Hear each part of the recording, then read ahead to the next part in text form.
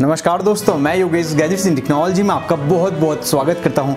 दोस्तों, यहाँ पे आप देख रहे हैं टेक अपडेट नंबर 11 और मैं आप सभी लोगों के लिए काफ़ी इंटरेस्टिंग अपडेट लेके आया हूँ। कुछ है यहाँ पे सैमसंग के स्मार्टफ़ोन को लेके, कुछ यहाँ पे शामी की तरफ़ से हैं, कुछ LG की तरफ़ से हैं, कुछ एप्पल की तरफ़ से हैं। तो आप आगे देखते रहो मेरे साथ में इस वीडियो को, और आपने अभी तक चैनल को सब्सक्राइब नहीं करा है तो कर लीजिए सब्सक्राइब वीडियो को लाइक कीजिए शेयर कीजिए, और बेल आइकन को दबाना तो बिल्कुल भी मत भूलिए।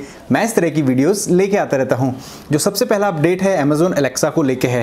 यहाँ पे अमेजोन एलेक्सा आपको मालूम है कि वर्चुअल असिस्टेंट की तरह काम करता है। काफ़ी सारा ये काम करता है दोस्तों। यहाँ पे मतलब आपको रेडियो सर्विस इनेबल मिलती है इसके साथ में। रेडियो डे के दिन ये सारी चीज़ें पॉसिबल हो पाई हैं। और यहाँ पे आपको 350 रेडियो स्टेशन आपको सुनने को मिलेंगे, जिसमें से 17 लाइव स्टेशन होंगे और 14 लैंग्वेजेस को ये अमेजोन एलेक्सा सपोर्ट करेगा। काफ़ी अच्छी बात है कि आपको अपडेट्स मिल रहे हैं, काफ़ी अच्छे अपडेट हैं और आपको मतलब रेडियो भी आजकल अमेजोन एलेक्सा पे ही देखने को मिलेगा दोस्तों। तो काफ़ी नए नए सॉन्ग्स आप सुन सकते हो लाइव स्टेशन यहाँ पे आप सुन सकते हो। अगला जो अपडेट है यहाँ पे एप्पल की तरफ़ से बायोमेट्रिक सिस्टम पे काम कर रहा है जो कि कार के लिए इनेबल होगा दोस्तों। यहाँ पे जितनी भी कार्स होंगी आने वाले टाइम में, हो सकता है कि उन पर आपको ये फीचर देखने को मिल जाए। तो मतलब इस फीचर में क्या होगी आपके फेस आईडी की मदद से या फिर फिंगरप्रिंट की मदद से आपकी कार लॉक और अनलॉक होगी। काफ़ी अच्छी बात है कि अभी हम की से करते हैं, या फिर की डाल के करते हैं, या फिर रिमोटली करते हैं, लेकिन आने वाले फ्यूचर टाइम में हम ऐप की मदद से कार को लॉक भी कर पाएँगे और कार को अनलॉक भी कर पाएँगे।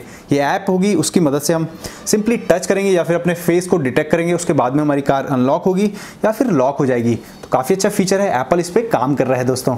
अगला जो अपडेट है शाओमी के फोल्डेबल स्मार्टफ़ोन को लेकर है। कुछ टाइम पहले एक वीडियो सामने आई थी, जहाँ पे शाओमी के जो सीईओ हैं, वो अपने हाथ पे रख के फोल्डेबल स्मार्टफ़ोन को चला रहे थे दोस्तों। यहाँ पे एक और वीडियो सामने आई और कुछ फ़ोटो सामने आई है शाओमी के फोल्डेबल स्मार्टफ़ोन को लेके, जहाँ पे दो स्मार्टफ़ोन बताए जा रहे हैं। एक हो सकता है यहाँ पे शाओमी डुअल फ्लेक्स जिसमें आपको दो फोल्ड देखने को मिल रहे हैं, और एक फ़ोन है यहाँ पे शाओमी मिक्स फ्लेक्स तो दोनों स्मार्टफ़ोन का डिज़ाइन हालाँकि काफ़ी अच्छा है, और यहाँ पे शाओमी मुझे लगता है कि बहुत ही जल्दी फोल्डेबल स्मार्टफ़ोन को लॉन्च कर देगा। यहाँ पे बहुत अलग अलग कंपनीज़ लॉन्च करने की तैयारी कर रही है फोल्डेबल स्मार्टफ़ोन को। तो ऐसे में यहाँ पे शाओमी भी कर सकता है अपना फोल्डेबल स्मार्टफ़ोन बहुत ही जल्दी लॉन्च अगला अपडेट यहाँ पे एप्पल की पेड न्यूज़ सर्विस को लेके है। यहाँ पे एप्पल अपनी बहुत ही जल्दी एक पेड न्यूज़ सर्विस लाने वाला है, जो कि बताया जा रहा है कि ट्वेंटी मार्च को अनाउंस हो सकती है दोस्तों। इस सर्विस में आपको लगभग टेन डॉलर में मंथली प्लान मिलेगा, जिसमें एप्पल ने क्या करा है? पब्लिशर के साथ में यहाँ पे कॉन्टैक्ट किया है, और आपको जितनी भी ग्लोबल न्यूज़ है, वो आपको एक ही प्लेटफॉर्म पर यहाँ पे देखने को मिल जाएगी। लेकिन एप्पल इस चीज़ के लिए आपको चार्ज करेगा, जो कि लगभग हो सकता है टेन डॉलर पर मंथ हो सकता है, या फिर उससे भी ज़्यादा हो सकता है। अभी ये सारी र्यूमर के बेस पे, अभी एप्पल की तरफ़ से कोई कंफर्मेशन नहीं आया इस न्यूज़ को लेकर दोस्तों। अगला अपडेट भी एप्पल की तरफ़ से ही है। एप्पल आईपैड प्रो 2018 के जो दोनों ही वेरिएंट हैं 11 इंच और 12.9 इंचेस इनका अंतुतु स्कोर भी काफ़ी ज़्यादा आ रहा है दोस्तों। पाँच लाख बासठ हज़ार और पाँच लाख तिरपन हज़ार है इनका अंतुतु स्कोर जो कि काफ़ी फास्ट है। और बताया जा रहा है कि एप्पल की सबसे फास्ट डिवाइसेज ये हैं। और मतलब यहाँ पे जो चिप यूज़ हो रही है A twelve X bionic chip ये है, और काफ़ी फास्ट ये चिप है मतलब सबसे ज़्यादा अंतुतु स्कोर आ रहा है। आपको मालूम है कि जो आईफोन टेन और टेन मैक्स हैं, उनका तीन लाख चौंसठ हज़ार के आसपास अंतुतु स्कोर आता है। लेकिन ये टैबलेट जो है, ये काफ़ी फास्ट हैं, जिनका अंतुतु स्कोर तो काफ़ी ज़्यादा है दोस्तों। और अगला अपडेट यहाँ पे पबजी लवर्स के लिए काफ़ी इंपॉर्टेंट है। बताया जा रहा है कि पबजी का नया वर्जन आने वाला है, जो कि 0.11 होगा, और इसमें आपको जॉम्बी मोड भी देखने को मिलेगा। मोबाइल फ़ोन पर आप इजिली इसको यूज़ कर सकते हो। तो यहाँ पे मतलब पबजी वाले काफ़ी अपडेट आपको दे रहे हैं और देखते हैं कि फ्यूचर में और कौन कौन से अपडेट आपको मिलते हैं पबजी गेम में दोस्तों। क्या आप खेलते हो पबजी गेम ज़रूर नीचे कॉमेंट में लिखना इसके बारे में। अगला जो अपडेट है सैमसंग के दो नए अपकमिंग स्मार्टफ़ोन को लेकर है। दोनों ही स्मार्टफ़ोन ए सीरीज़ के फ़ोन है सैमसंग गैलेक्सी ए और सैमसंग गैलेक्सी ए फ़ोन है दोस्तों।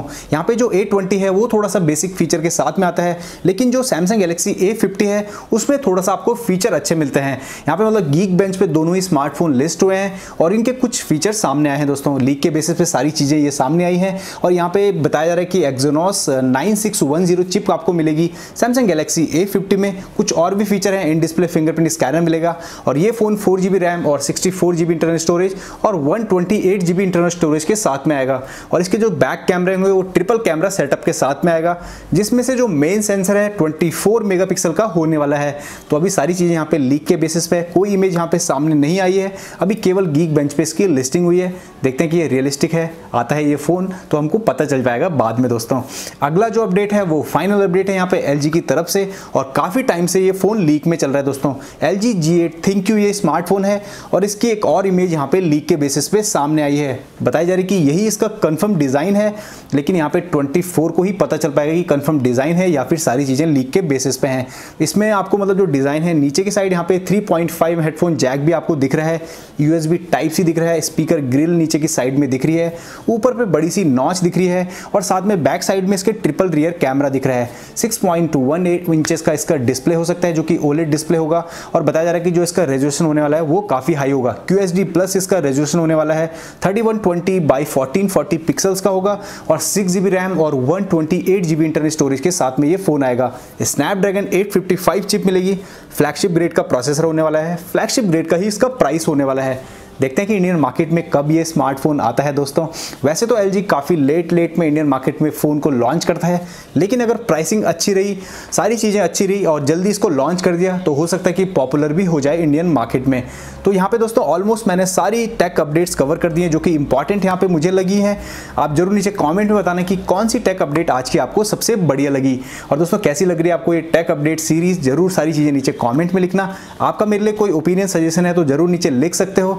और आपने मुझे अभी तक सोशल मीडिया प्लेटफॉर्म पे ज्वाइन नहीं किया है तो नीचे मैंने लिंक डिस्क्रिप्शन में दिए हुए हैं, आप मुझे वहाँ जाकर ज्वाइन कर सकते हैं दोस्तों। और आपने अभी तक चैनल को सब्सक्राइब नहीं करा है तो कर लीजिए सब्सक्राइब वीडियो को लाइक कीजिए शेयर कीजिए और बेल आइकन को दबाना तो बिल्कुल भी मत भूलिए। मैं इस तरह की वीडियोज़ लेके आता रहता हूँ। थैंक यू दोस्तों thank you so much for watching